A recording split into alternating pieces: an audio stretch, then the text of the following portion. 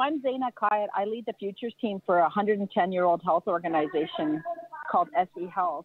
And, uh, you know, my job is to help pivot an organization whose business model uh, no longer serves. Uh, and that's really what healthcare is going through. We've had a business model for 150 years that hasn't changed and it's just no longer working. And so I got invited to uh, a conference of kind of leading health organizations across uh, North America and the UK to lead a three hour kind of session on how, what's the role of the board of directors in pivoting uh, an entire organization. And these were for health organizations, but I think the lessons I brought to this uh, are the same, you know, no matter what organization, given the amount of change everybody goes through. And so I wrote up about it in a, in a blog afterwards. You're welcome to read it. Um, in this month's Rotman magazine, I don't talk about pivot. I just talk about the future of healthcare and where it's going. But I'm going to kind of have a little bit of fun with you uh, and share this short talk I gave uh, as part of this conference. The format was Pechakucha. You guys probably know that format. It came from Japan to force people to be succinct when they give presentations. So Pechakuchas are 20 seconds times 20 slides. So you're done in six minutes. So the fact that I have 12 minutes is like a luxury. So, so here we go. So, you know, so reminder of what a pivot is, and just like the word strategy, I'm sure everyone has their own definition the working definition I'm using is, you know, you're pivoting an organization or a department. Uh, if you're, you know, significantly changing one or more elements of your business model, um, but your your strategy is still the same. And reminder of what's a business model. I just love to use Clay Christensen from Harvard's uh, framework, which is here on the right. So if one or more of those elements of your business model, how you're creating value and organizing your resources to do so, now you're in a pivot mode. And, you know, the challenge for any 21st century organization, especially in healthcare, but everywhere, is how do you get wired to do that kind of consistently given business models just are not lasting as long as they used to? And how do you bring it into your DNA? Well, uh, I'm a biologist, and, you know, we can take some inspiration from these little creatures called bacteria, who uh, it is in their DNA to pivot. So you might know that you know the whole reason for existence. So there's the strategy of a bacteria is to find food and eat it. And so they've got two ways they can you know search. One is just to kind of use their tail to fling them across your cells to find stuff. Uh, but if they sense there's some micronutrients, they actually switch and pivot to tumbling and flipping around, and they switch their whole way to get food. And so, you know, that's kind of how we've been able to be alive as a species. So the question is, you know, who else has this capability to pivot in their DNA? And that's where startups come in. So, um, you know, I don't have to tell you which of the pictures on this slide is a startup. Uh, you know, the, the, the challenge for large, complex organizations is we've kind of built pivot out of our whole business, our operating model, because we're, you know, what we are as complex organizations is uh, a, a, permanent organization that's designed to uh, very finely execute a repeatable and scalable business model. Well, a startup on the right is exactly the opposite. They're not a permanent organization, they're a temporary organization, and they're searching, just like that bacteria, for a repeatable and sustainable business model. And they do that by running experiments based on a, a problem they're seeing with a customer, uh, test it, and then if their experiments fail, they pivot. And I think the data now shows the average startup that ultimately gets to scale up, uh, which is, you know, one in, I don't know, 90 or 100 startups make it, they pivot on average six times. I mean, most of you might work for a complex organization that's actually never been through a pivot, right? So this is kind of the, the difference in velocity and capability. So, you know, what is it about uh, these creatures and can larger complex organizations learn from them? Um, uh, so let's look at, we're going to do that by looking at a few startups that you might all know and just let's see what did they do? How did they pivot and, and what can we learn? So I've kind of looked at a bunch of historical pivots, and this is not scientific at all, but I started to map a few patterns of types of pivots that they've done. And you can see where, you know, some pivots, such as the, you know, number one and two, are purely pivoting on one element of the business model, like the actual offering to the customer, the value prop. Others are pivoting on two or more, like uh, like at the top there, the problem solution pivot. So so let's uh, let's have a little bit of fun and go through some of these. So you guys might recognize the fellow on the left here, Peter Thiel. Um, you might know or remember that he started in business by developing uh, encryption for phones and handheld devices, and he had a company, a security software company called FieldLink. Uh, but FieldLink didn't own any applications, so they actually pivoted the whole platform in the era of the Palm Pilot uh, and then they created uh, a new company called Confinity to allow you know me to send an IOU to you through our Palm Pilot. Palm Pilot was the device of the day in the kind of late 90s. And then after more than a year of getting nowhere really fast, uh, their next pivot was to move cash onto mobile phones. And that's what became PayPal. And that's when Elon Musk came on the scene. And as you know, they got acquired by eBay in 2002, uh, and then really uh, PayPal even gained more traction than before. Uh, and then uh, eBay established PayPal as its own company. So that's really a customer problem um, pivot because you're using the same product, but you're solving a different problem for a different customer segment. A similar customer problem pivot uh, you might recall was this little company that used to be called TuneIn and Hookup. And this was a site that allowed single people to upload a video of themselves and talk about what they wanted in a partner.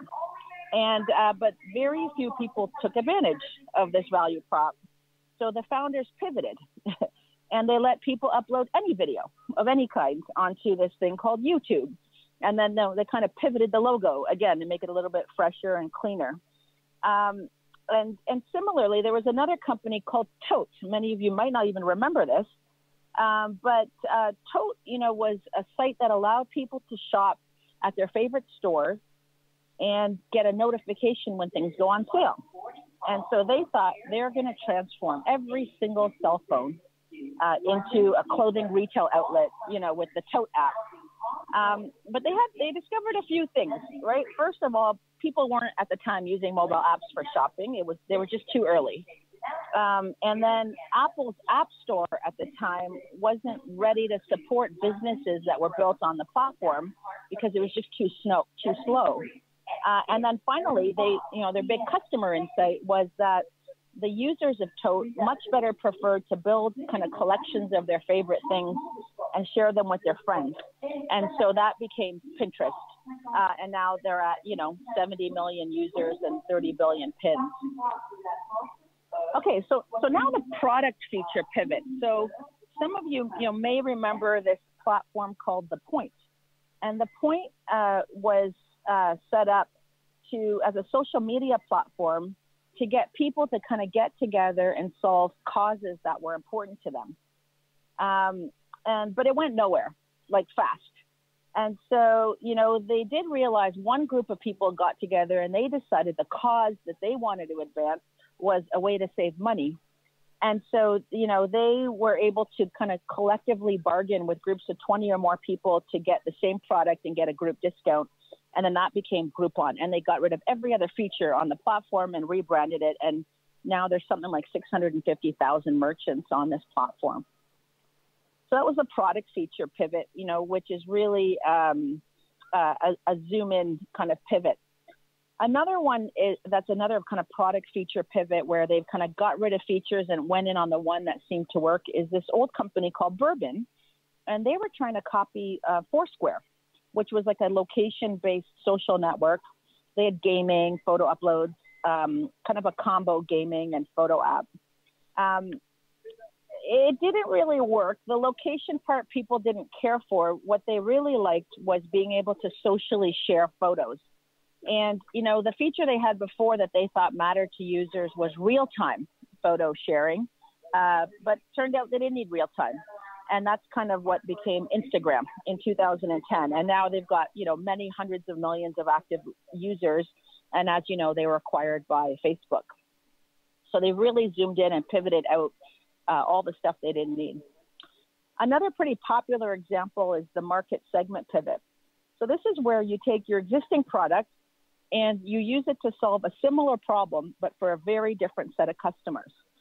Um, so y- you might remember that there was um, an attempt to, you know, create a, a, camera platform. Android was a camera platform where uh, you'd use cloud to store your photos uh, online. And then smart cameras could connect on this Android platform to PCs to move your photos around um, uh, to this Android data center. Quickly, they realized that you know the smart camera market was not big enough for Android, uh, and uh, and so they pivoted to kind of smartphones and all sorts of data, not just cameras. And that's kind of how we have Android as it is today, which I think is now over 70% market share in the US last year. Another really fun pivot that you might not be aware of because um, you're used to these household names. Uh, that was another kind of market segment pivot. Pivot. So you know, Uber um, started actually, uh, which is the bottom one there, when there was like a big oversupply of those black limousines waiting at parking lots or uh, for their next scheduled customer. And so they did a kind of on demand for a black limo. Um, so they could kind of um, use that capacity, that asset really well. Um, and uh, that ended up getting the attention of cab drivers as well, and then private drivers. And so they updated their operations to uh, non-commercial drivers with their own private vehicles. At the exact same time, actually, this com- Lyft came before Uber, um, but it used to be called Zimride. And Zimride was around to help students to carpool between cities, like to go home for Thanksgiving. Um, and so, kind of long haul ride sharing was Zimride. And uh, and then you know nobody had ever tested a market for going with a stranger in their car. Uh, and so that's how they pivoted to Lyft, and then Uber just basically fast copied, and now we've got these two players in the market. Okay, last couple examples. So Ludicorp, um, you know, this is the company that used to be Flickr.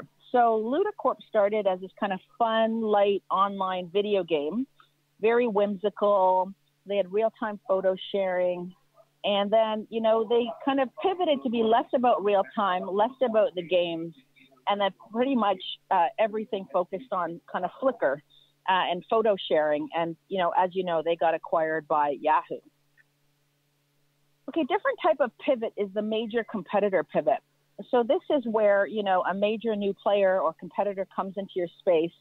You can either charge ahead blindly or pivot uh, to get your own differentiation and stay alive.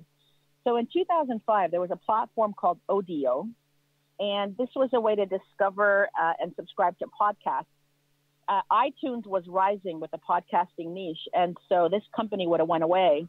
And so they actually went to all their employees and said, you know, pitch a new idea. Uh, and that's when the future founder, Jack Dorsey, you know, suggested microblogging, and then Twitter was born.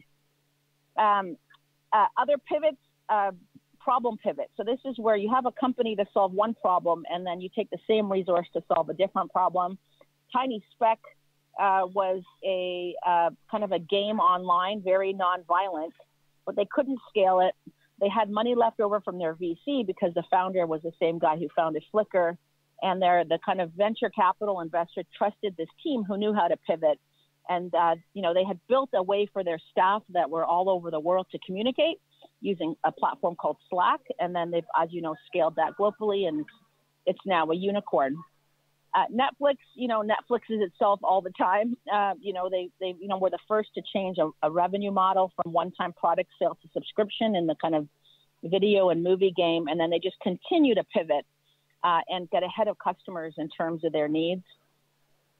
And then only to say pivoting isn't just for high tech companies. I hear this all the time in healthcare, which is a very labor intensive you know, Starbucks started out by selling espresso machines, and that didn't work, and they pivoted. Uh, Cariloha started by selling, you know, sun products and bathing suits, and pivoted to being kind of a, a bamboo sustainable company. So both of these created a completely new market that didn't exist by pivoting off their core assets.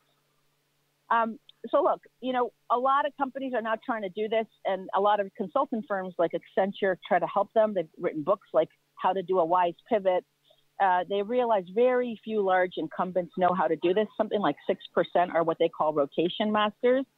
But it can be done. I mean, you know, if you look at the history of a company like Nokia that started in the wood pulp business and, you know, is now in digital health and just pivoted out of digital health this year.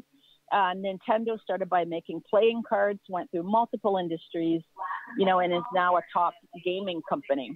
So this isn't just for startups. And so that, that kind of sums it up. Um, and I guess the one thing I'll say is pivoting, you know, the clear kind of common thread is for all these companies, there was no grand plan. They listened to their customers, they had some guts, and they went for it. And they were supported by, you know, their, their venture backers or whoever. And, and that would be what I encourage you to do uh, as you pursue pivots. Thank you very much.